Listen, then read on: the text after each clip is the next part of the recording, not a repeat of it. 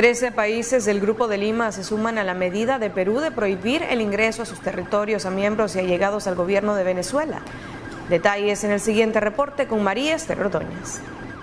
Luego que Perú decidiera este lunes cerrar el ingreso a ese país al presidente de Venezuela, Nicolás Maduro, las demás naciones que conforman el Grupo de Lima, a excepción de México, se sumarán a esta medida para no permitir el ingreso a sus territorios al mandatario venezolano y a personas vinculadas al gobierno. La información fue dada a conocer desde Bogotá por el canciller colombiano Carlos Olmes Trujillo durante una conferencia de prensa. A partir de ese momento entonces, en Colombia se está avanzando en la concreción de esas medidas, lo cual se anunciará próximamente, dirigidos esos pasos que se están dando cumplir con los compromisos adquiridos conjuntamente. Todas las medidas que se anuncian tienen que ver con personas en concreto. No se busca de ninguna manera sanciones ni al pueblo de Venezuela ni a la nación como tal. Son medidas focalizadas en personas cercanas al régimen.